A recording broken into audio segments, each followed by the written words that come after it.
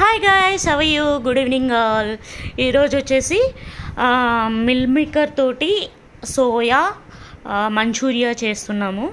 So ఇంట్లో పిల్లల కోసం స్నాక్స్ కావాలి అని వాళ్ళు అడిగితే ఈవినింగ్ టైంలో స్కూల్కి వెళ్ళి వచ్చిన తర్వాత ఇవి అయితే చేసి పెట్టినాము.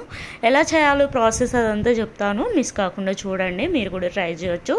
చాలా సింపుల్ ఇంట్లో ఉన్న ఇంగ్రీడియంట్స్ తోటి మనం ట్రై చేసుకోవచ్చు. ఇట్లా బయట లాగా సాసులు అవన్నీ యాడ్ చేయకుండా సింపుల్గా ఇంట్లో ఎలా చేసుకోవాలనేది చెప్తున్నా.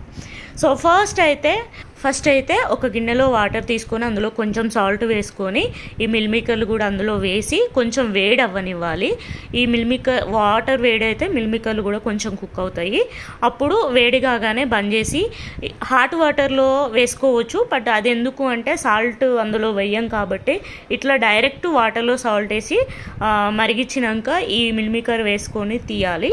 తీసిన తర్వాత మంచిగా పిండాలి. అందులో వాటర్ పర్సంటేజ్ లేకుండా పిండి. ఒక గిన్నెలో వేసుకొని అందులో ఉప్పు కారం మసాలా ధనియాల పొడి అండ్ అల్లం చాట్ మసాలా ఇంకా అంతే. అవి వేసుకోవాలి. అవి వేసుకొని మంచిగా మిక్స్ చేయాలి. మంచిగా ప్రతి ఒక్క మిల్మికర్ కూడా ఇవి అబ్జర్వ్ అయ్యేలాగా చేయాలన్నమాట మంచిగా మిక్స్ చేయాలి. ఇందులో కొంచెం కార్న్ఫ్లోర్ కూడా వేసుకోవాలి. ఒక టీ టీ స్పూన్ తోటి ఒక రెండు స్పూన్లు వేసుకోవాలి.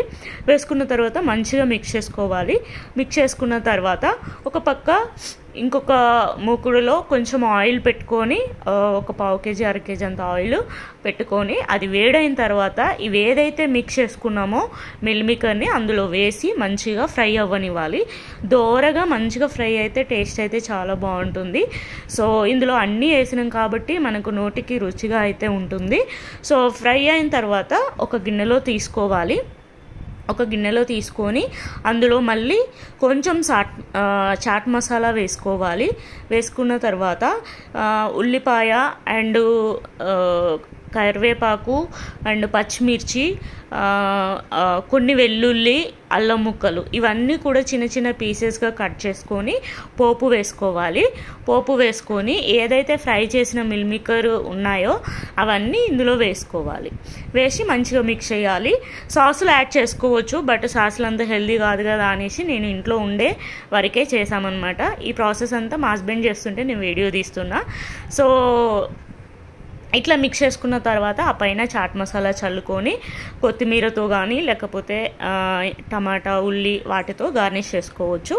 సో నేనైతే సింపుల్గా ఇలా ఇంట్లో ఉండే ఇంగ్రీడియంట్స్ తోటి ఇలా ట్రై చేసి మంచిగా పిల్లలకైతే పెట్టిన. ఆ పైన ఏదైతే డెకరేషన్ చేస్తామో అప్పుడు కొన్ని వేంపిన నువ్వులు కూడా చల్లుకుంటే ఇంకా కొంచెం టేస్ట్ యాడ్ అవుతుంది. సో చాలా బాగుంటుంది టేస్ట్ అయితే. సాస్లు అవి లేకుండా కూడా తినొచ్చు. ఒకవేళ మీకు సాస్ కావాలి అనుకుంటే తీసుకొచ్చుకొని సాస్ కూడా యాడ్ చేసుకోవచ్చు. పాపకు కావాలంటే ఒక విడిగా సాస్ తీసుకొచ్చి పెట్టినామన్నమాట. మేమైతే సాస్ లేకుండా ఇలానే తిన్నాం. చాలా బాగుంది టేస్ట్. మీరు కూడా ఇంట్లో ట్రై చేసుకోవచ్చు. సో ఓకే ప్రాసెస్ అయితే అర్థమైంది కదా? సో చాలా సింపుల్. మంచి స్నాక్ అయితే రెడీ అవుతుంది. ఒకవేళ సాసులు కనుక ఇష్టం ఉంటే సాసులు యాడ్ చేసుకొని కూడా మీరు తినొచ్చు. మంచి బయట వందలు వందలు పెట్టి కొన్ని తినే బదులు ఇలా మనం ఇంట్లో ట్రై చేసుకుంటే తక్కువ ఖర్చుతోటి మంచి క్వాంటిటీ కూడా చాలా వస్తుంది మంచి టేస్టీ కూడా ఉంటుంది అండ్ హెల్దీ కూడా. So like share subscribe. Thank you for watching కొంచెం సబ్స్క్రైబ్ చేసుకోండి.